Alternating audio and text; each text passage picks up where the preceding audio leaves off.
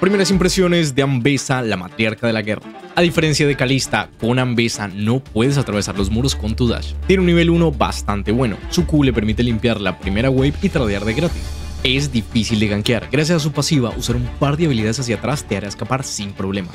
Gracias a su segunda Q, tener un enemigo bajo torre lo penaliza demasiado. Es muy fácil preparar un dive con este campeón con toda su movilidad y control desde nivel 6. Una vez que tienes Tiamat, tu limpieza de waves y tradeos mejoran mucho. Puedes desplazarte a distancias muy largas usando tus 32 dashes que tienes gracias a usar habilidades. La espada voltaica es increíblemente buena con Ambesa, dasheas tanto que cargas el ítem una y otra y otra vez eres inevitablemente el terror de los ADCs. Da igual si tienen rango suficiente o ralentizaciones, tu R te desplaza una distancia demasiado larga y no hay mucho que hacer una vez que tienes Ambesa encima.